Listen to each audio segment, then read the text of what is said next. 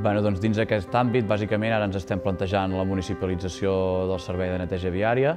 també ens plantegem la, passar a la, recollida porta a porta, perquè pensem que els nivells de reciclatge que tenim ara mateix són molt baixos. Llavors continuem també amb la política que hem portat aquesta última legislatura, que és el canvi de model energètic,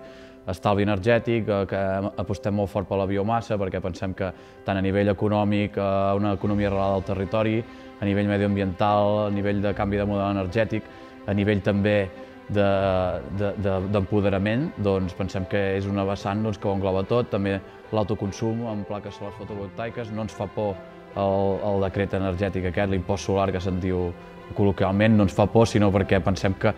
que, que si la, la nuclear hagués de pagar un peatge ambiental per produir energia, llavors segurament encara sortiria molt més car. Per tant, fins que no es comptabilitzin aquests costos, no hem de tenir por per, per apostar. Doncs pels municipis petits com Navàs, eh, el tema de participar en la xarxa pensem que és molt interessant perquè no tenim una estructura administrativa molt forta, som un poble més, més aviat petit i per tant doncs, ens trobem moltes limitacions. El tema de la xarxa, que el seu propi nom ja ho indica, no? El fet de treballar en xarxa fa que et puguis aprofitar del que en un altre poble estan fent que s'assembla al que tu vols fer i doncs, aquests recursos, compartir-los i cooperar, que en diem nosaltres, no? i, i així doncs, aprofitar la feina que s'està fent en un punt del territori, doncs potser es pot extrapolar en un altre, canviant quatre cosetes i, i tota la feina base ja està feta. En concret, amb nosaltres aquesta legislatura passada vam treballar amb els horts comunitaris i amb l'aigua. La, amb el tema de l'aigua doncs ens hem aportat eh, a tema de control tarifari, eh, més aviat com veure com fan el, el, els altres pobles doncs, tots aquests temes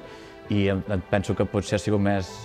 sigui més interessant el tema dels horts, perquè gràcies a, a poder col·laborar amb aquest projecte, doncs a Navàs hem engegat uns horts socials i ecològics que per, per usuaris del banc d'aliments i que una part de la seva producció va a bancs d'aliments i doncs, ens ha anat molt bé per, per regular d'alguna manera. El principal repte de, per aquest mandat a nivell local, bàsicament, penso que és implantar totes les coses que tenim sobre la taula ara mateix, que no són pas poques, i, no, i anar a, a, a minimitzar al màxim el, les emissions de, de diòxid de carboni i intentar doncs, fer un balanç el més net possible. A nivell nacional, a nivell de, de Catalunya, jo penso que, que està molt clar doncs, que s'aposta molt fort per l'economia, bueno, per aquest model econòmic així integrat, per la resiliència, apostar molt fort per la resiliència i per l'autosuficiència energètica, això. A mi m'agrada més parlar de sobirania energètica que autosuficiència perquè li dona un, un punt més no, de sobirania, empoderament popular i pensem que és més interessant.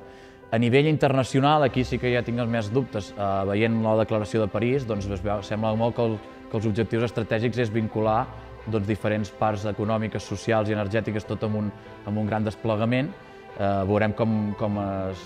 al final com es realitza això, però penso que idea, la idea és bona. Doncs uh, jo el 2020, diguéssim, quan s'acabi aquesta legislatura, jo m'agradaria molt poder a implantar el, el sistema porta a porta base amb èxit, no? que la consciència de la gent doncs, sigui que, que és el model que hem de seguir, que estem fent una cosa profitosa i que no creiem els rebuts i arribar a aconseguir nivells del 85-90% de reciclatge, per mi és una de les prioritats i una, i una de les coses que m'agradaria poder aconseguir.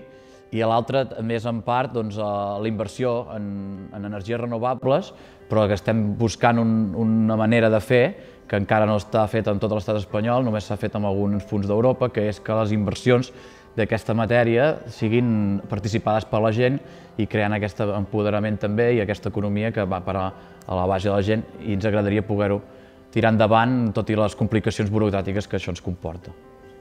Bueno, jo, crec, jo crec que per aconseguir aquests objectius que ens hem marcat, el primer que s'ha de canviar és la conscienciació popular. Vull dir, el que hem de fer és que a la gent no se li pot eh, preguntar si vol o no pot contaminar, igual que no preguntem si es pot invertir en serveis socials o en drets socials, doncs no preguntem si es pot contaminar o no. Per tant, s'ha d'exigir que la gent deixi de contaminar. S'ha de canviar el model. Jo penso que s'han d'acabar aquestes menes d'iniciatives público-privades en les quals les empreses privades poden compensar les emissions de CO2 que provoquen a canvi de pagar-les amb un que les està compensant. També